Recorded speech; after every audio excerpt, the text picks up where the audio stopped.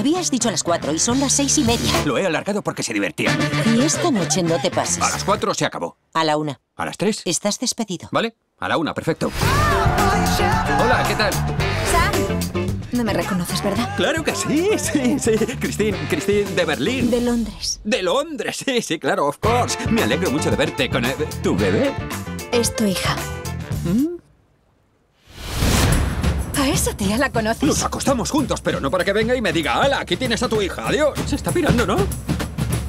¡Christine! ¡Que te dejas tus cosas!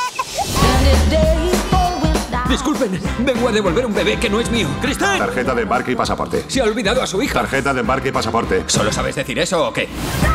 Llevo en brazos a un bebé, no encuentro a su madre, he perdido la cartera, no me quedan pañales y llueve. Ah, ¿Habla mi idioma? Ah, sí, a veces. Pues me va a salvar la vida. ¿Será todo un placer?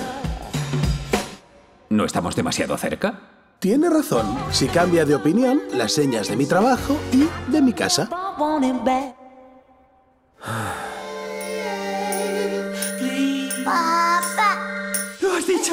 ¿Es consciente de las consecuencias de la educación que le está dando a Gloria? La semana pasada no vino ni un día. Ah, no. Ni siquiera el, el lunes. Papá, mamá me ha mandado un mail. No le mandes más mails falsos y dile la verdad a tu hija. Un día sabrá que llevas años mintiéndole y hazme caso, eso la hará sufrir muchísimo.